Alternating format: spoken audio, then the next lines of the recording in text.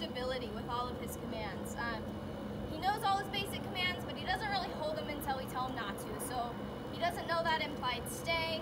Um, just kind of does it, pops back up, does whatever he wants. And then they just want to work on making sure he has a really strong recall. So let's play around a little bit and see what Rocket knows already. Rocket, come. Good job. Good boy. Come.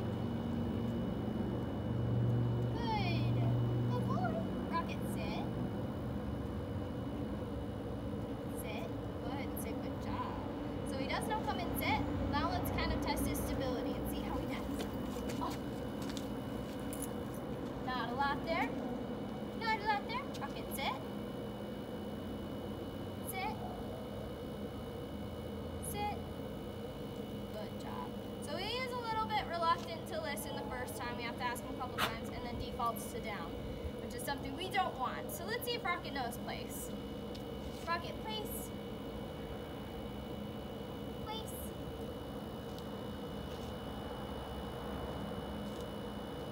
No place. Alright.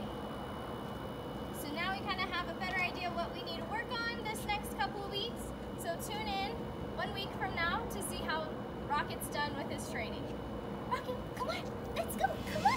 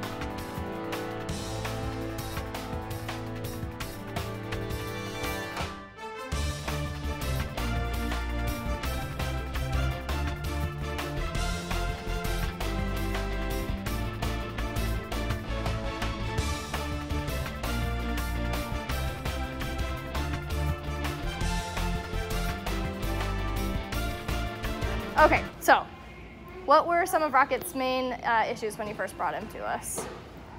Uh, skittish, nervous, couldn't really focus on details. Um, all over the place. Uh, what do you feel like he's done? How, how has he done like after what you've seen today? Like what improvements has he has he made?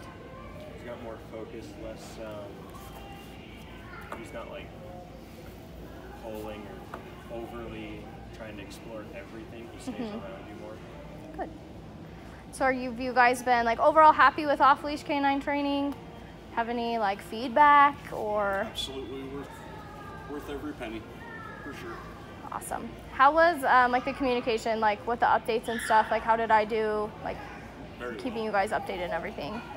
Every single evening with video, pictures throughout the day, answer any questions we had. Awesome. Well, yeah, he did. He did really good. I loved working with him. Um, so go ahead and give him a big B word and uh, enjoy your off leash life with Rocket. Break. Yay!